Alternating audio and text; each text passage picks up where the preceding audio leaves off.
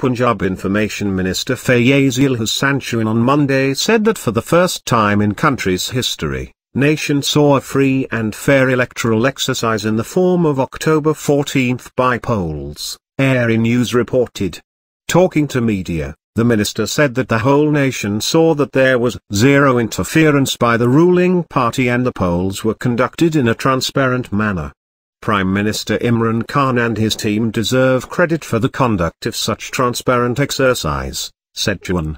He said that it was witnessed by everyone that no institution like police, local administration, Bait al-Mal or Benazir income support program was used to influence the results of by-election in the favor of PTI. He further said that people also saw that no federal or provincial minister or advisor addressed to the general public meeting of any candidate of PTI during their election campaign. In the past, development funds were used to get election results in one's favor. Moreover government machinery and institutions were also used for the purpose said the minister. Chohan said that even PMLN leaders have admitted the by-polls were completely fair and free. The provincial minister concluded by saying that success of PTI and its allies on 6 out of 11 seats of National Assembly is a glaring evidence of confidence people of the country have in PM Imran Khan.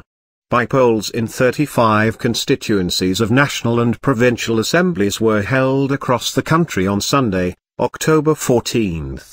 According to results issued by ECP's result transmission system, Pakistan Muslim League Nawaz and Pakistan Tehreek-e-Insaf managed to grab four NA seats each while PTI's ally PMLQ surprised everyone by winning two NA seats. Polling was carried out without any interruption from 8 am to 5 pm. For the first time overseas Pakistanis also exercised their right to vote through iVoting. The ECP had launched the overseas voting system on September 1 for today's by-elections. Out of 790,000 Pakistanis living abroad, of which 631,909 were eligible for iVoting, only 7,419 people registered to vote out of which 85% voted in today's by polls.